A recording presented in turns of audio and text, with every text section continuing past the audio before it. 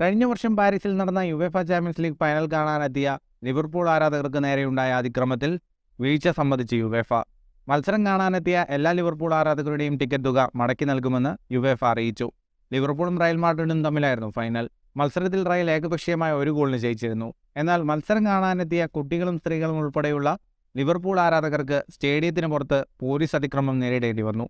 മത്സരം കാണാനായി പാരീസിലെ സ്റ്റേഡി ഫ്രാൻസ് മൈതാനത്തിന് പുറത്ത് മണിക്കൂറുകൾക്ക് മുമ്പെത്തിയ ആരാധകരെ സുരക്ഷാ ജീവനക്കാർ തടഞ്ഞിട്ടു. ടിക്കറ്റുമായി എത്തിയ പലർക്കും ഗ്രൗണ്ടിൽ കയറാനായില്ല. ഇത് സംഘർഷത്തിൽ കലാശിക്കുകയും പോലീസ് കണ്ണീർ വാതകം പ്രയോഗിക്കുകയും ചെയ്തിരുന്നു. ഇതോടെ മുപ്പത്തെട്ട് മിനിറ്റ് വൈകിയാണ് മത്സരം തുടങ്ങിയത്. കാഴ്ചക്കാരിൽ നിരവധി പേർ അന്ന് കവർച്ചയ്ക്കിരയായി. സംഘർഷത്തിന് കാരണം ലിവർപൂൾ ആരാധകരാണെന്ന് യുഎഫ തുടക്കത്തിലെ കുറ്റപ്പെടുത്തിയിരുന്നു. വ്യാജ ടിക്കറ്റുകളുമായി എത്തിയവരാണ് പ്രശ്നക്കാരെന്നും ആരോപിച്ചിരുന്നു.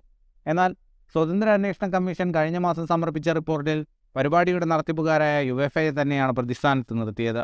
സംഘടനത്തിലെ വീഴ്ചയാണ് പ്രശ്നങ്ങൾക്ക് കാരണമെന്നും ഫ്രഞ്ച് പോലീസ് ലിവർപൂൾ ആരാധകർക്ക് നേരെ മുൻവിധിയോടെയാണ് പെരുമാറിയതെന്നും ഇരുന്നൂറ്റി ഇരുപത് പേജ് വരുന്ന അന്വേഷണ റിപ്പോർട്ടിൽ കുറ്റപ്പെടുത്തിയിരുന്നു. പിന്നാലെ ലിവർപൂൾ ക്ലബിനോട് യു എഫ് ജനറൽ സെക്രട്ടറി നിരുപാധികം മാപ്പ് ചോദിക്കുകയും ചെയ്തു. തുടർന്നാണ് മത്സരം കാണാനായി ടിക്കറ്റ് എടുത്ത പത്തൊമ്പതിനായിരത്തി അറുന്നൂറ്റി പതിനെട്ട് ലിവർപൂൾ ആരാധകർക്ക് ടിക്കറ്റ് തുക മടക്കി നൽകാൻ യു എഫ് തീരുമാനിച്ചത്. കൂടാതെ സ്റ്റേഡിയത്തിൽ കയറാനാകാതെ വന്ന റയൽ മാഡ്രിഡ് ആരാധകർക്കും ടിക്കറ്റ് തുക തിരികെ നൽകും. പരസ്യമായും സ്വകാര്യമായും കിട്ടിയ പരാതികളും വിമർശനങ്ങളും ഞങ്ങൾ കണക്കിലെടുക്കുകയും സമഗ്രവും നീതിയുക്തവുമായ ഒരു സ്കീം ഞങ്ങൾ ആവിഷ്കരിച്ചിട്ടുണ്ടെന്ന് വിശ്വസിക്കുന്നതായും യുഎഫ ജനറൽ സെക്രട്ടറി പ്രതികരിച്ചു. അറുപത്തിരണ്ട് പൗണ്ട് മുതൽ അറുന്നൂറ്റി പത്ത് പൗണ്ട് വരെയാണ് ടിക്കറ്റ് നിരക്കുകൾ ഫുട്ബോൾ ലോകത്തെ കൂടുതൽ വാർത്തകൾക്കും വിശേഷങ്ങൾക്കുമായി സ്പോർട്സ് കഫേ ഇപ്പോൾ തന്നെ സബ്സ്ക്രൈബ് ചെയ്യുക.